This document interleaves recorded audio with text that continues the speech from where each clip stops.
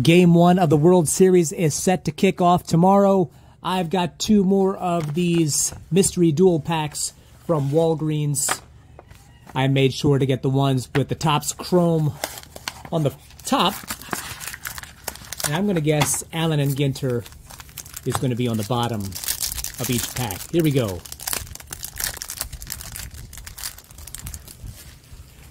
Ozzie Albies, Andrew Benintendi, Austin Meadows, and we have a black and white speckle of Eddie Rosario. Not bad.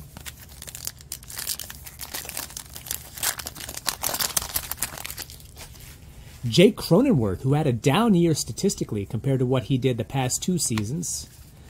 Hall of Famer Ernie Banks, Mr. Cub, part of that 500 home run club, and also set the record for playing in the most career games without ever appearing in a postseason.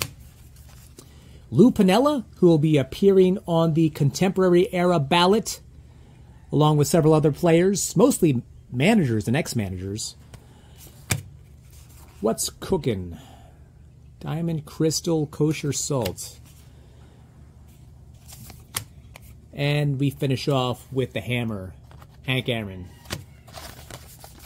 Two-time MVP. All right, it's going to be the same with this box pack. Sean Murphy, formerly with Oakland, but now with the Braves, coming off his first All Star appearance and set a career high in home runs and RBI this year. Looks kind of like Kramer from Seinfeld, but that is uh, Stephen Dubner, author and world renowned journalist. J.P. Crawford, National Twins Day. Ah, we have a Black Mini border parallel of Mr. Padre Tony Gwynn, the last National League player to come closest to hitting 400 in a season. He batted 394. That was a 1994. Now, that was a truncated season due to the strike.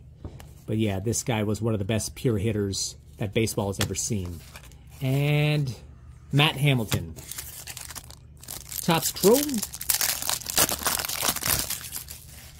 Zach McKinstry, Jorge Posada, four rings with the Yankees, Wade Boggs, four time batting champ, perennial All Star, World Series winner, 3,000 hits, and Hall of Famer. And Trevor Bauer. This is an Aqua, and it's going to. It's not numbered. Trevor Bauer was in the news earlier this year uh, not too long ago, actually. Turns out the accusations against him might have been uh, exaggerated, to say the least.